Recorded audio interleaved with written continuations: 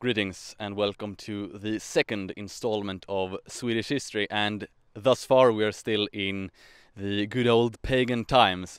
The reason I am here in Uppsala today is to talk about a few different things. First and foremost the religion of ancient or old Scandinavia, which of course is Nordic paganism and Uppsala was a capital of sorts in regards to paganism. So behind me we see three different hills, or not hills, rather grave mounds, where mighty chieftains are buried. And before I talk more about them, I'd like to again talk a bit about the geography of Sweden or the geography of Scandinavia. In the last episode, I explained the importance of the sea lanes, the uh, coasts were what connected the different parts of Scandinavia. So Denmark, Norway, Sweden, uh, the coast of Finland, etc.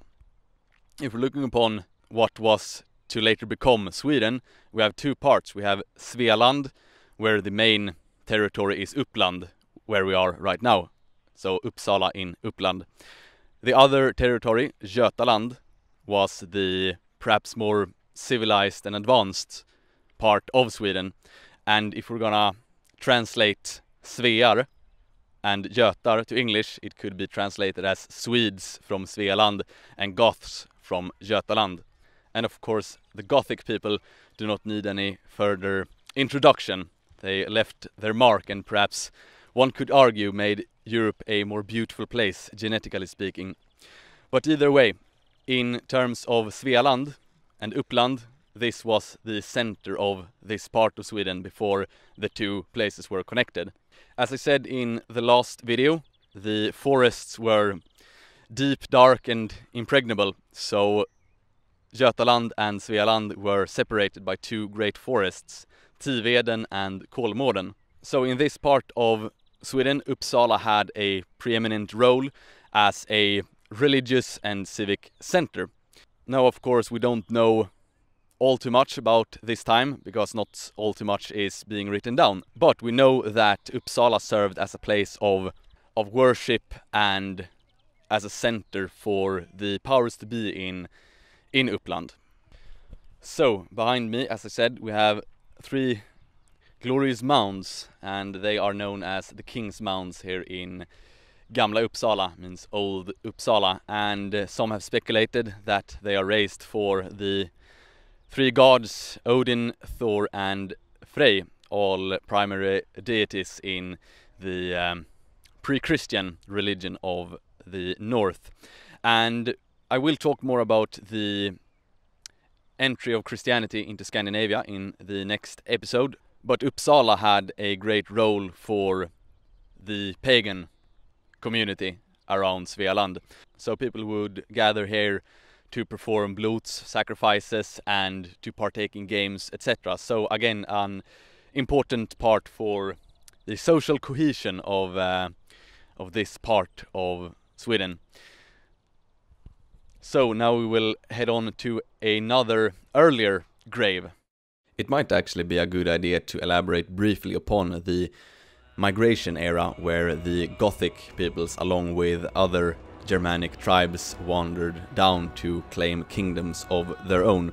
So, as most of you know, the Angles, Saxons, and Jutes went to the British Isles to stake out kingdoms there. The Franks went into today's France to, well, create France.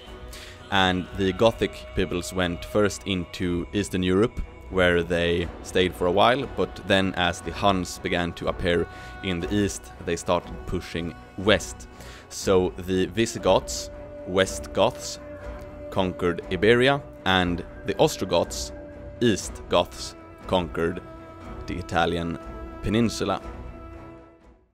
Now I am at Valsgärde, just north of Gamla Uppsala, Old Uppsala, at another grave field and these graves are dating back to the the earliest of them, back to the 500s and 600s AD. And there has been some graves, boat graves, and something very interesting here that proves the how connected still this part of Sweden was with the rest of the world is that some of the chieftains have been buried and they Uppsala University made some archaeological excavations here um, about eight years ago and they found silk garments that were quite well preserved on these chieftains. Uh, and the silk came from Sogdiana a area east of the Caspian Sea and also from China. So it's quite cool to see even back then how far these luxury goods could travel. So yes Valsgärde right here. Epic place. And now we'll go to Kung Björns hög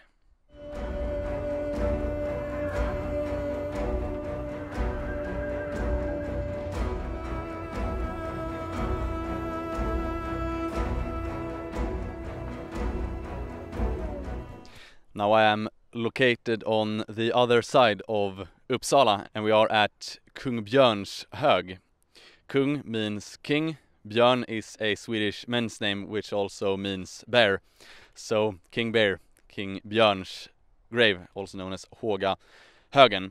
So this is a grave mound dating to the Bronze Age actually, so we're traveling further back in time than the Viking Age. And this grave that you see behind me right here is the grave that is the richest in gold in all of Scandinavia from the Bronze Age. So as I said in the last episode, all Norsemen, regardless of time era, have a certain affinity for gold and silver. So uh, yes, a lot of gold has been uh, found here and gold did not only signify material wealth it also had a spiritual aspect to it. So gold, a noble metal, of course. And as I said in the next episode, we will talk a bit about the entry of Christianity into Scandinavia.